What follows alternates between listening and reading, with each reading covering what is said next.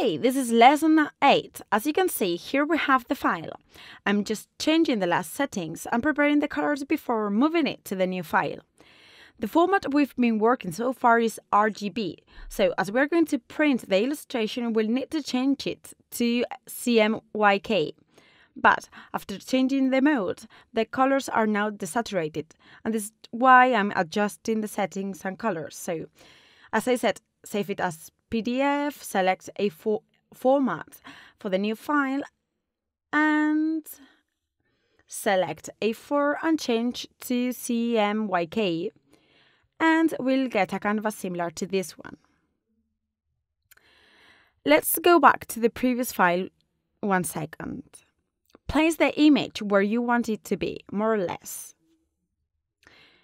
You can have a look at the draft we did previously. Okay, I need to move it a little bit. Then, at the top, we'll include the heading and subheading. The next step is select the correct font and adapt it so that it has a reasonable size and can be read easily. The font I selected is Bebas Neue, and you can find it together with other free fonts in the site Fonts. From here, we need to select the proper color, color because we need a color which matches the wave and fits, fits in with the idea of surfing a wave or riding a wave. It is the feeling caused by caffeine. Remember we talked about it before. And now we are going to start to copy paste the text I mentioned previously. The only thing you need to bear in mind when doing presentation, even when you don't seek to perceive money from it, is that it's necessary to specify the source from where you got the text. The text Layout will depend on your taste. If you prefer a symmetric layout, then you need to pay attention to the guides in order to center the elements.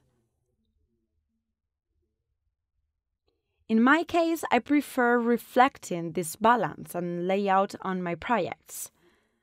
For this reason, I'll focus on placing all the elements in a symmetric position, which obviously takes time.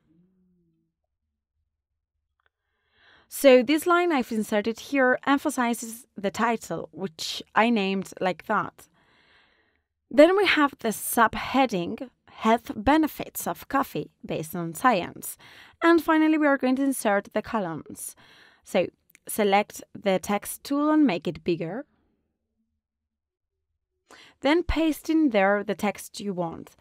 After that, select the font and select the size. The size is very important depending on what our image is intended for. In this case, we're going to print it, so the proper size for printing is between 8 and 10. This way, the font has a standard and medium size, not too big, not too small. You also need to bear in mind the intended pu public of your composition. For example, if it's intended for older people, the text and font must be readable and understandable. Otherwise, I recommend that you set the size to 9 or 10 for the rest of the cases.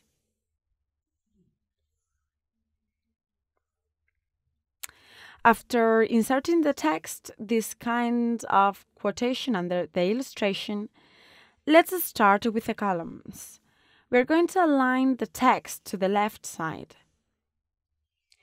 And then move the box text to a proper position and change the font color. I'll pick a black color, a neutral black. Okay, just adjust the box and copy the columns so that they have the same size and are similar in size and shape although we will need to change the text. So delete the current text and paste the new one from the website.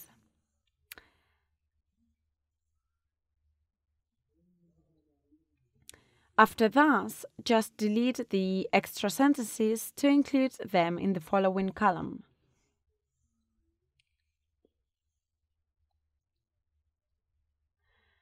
Like that.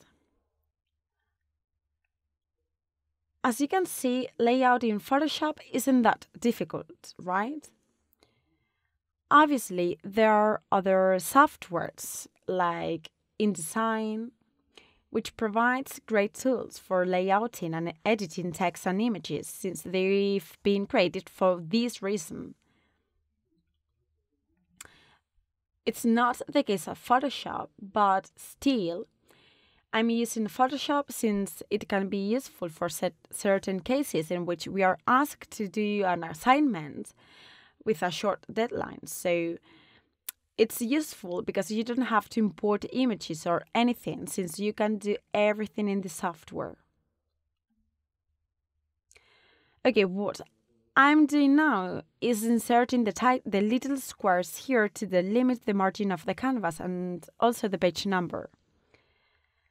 Let's make it bigger and color it in the same blue that the heading. Well, let's make this line thinner. Okay. So remember that you can experiment with the illustration in case you need to adjust it and so on. You could even introduce any type of border or reduce the opacity.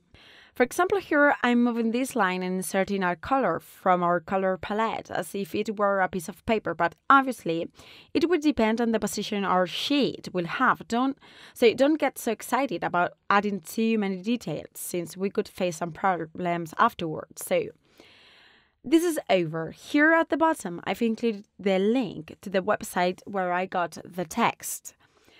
Let me change the color to blue and the font as well. But remember, you can use a maximum of two different fonts. So I've placed it under the text to indicate the source. Okay, as you can see, it's on CMYK mode, and then we're going to save it as a PDF. Okay, save it.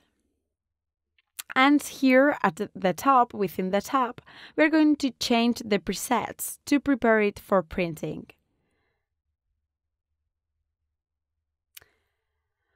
So we've already saved it and now we're going to save it again as JPG for web.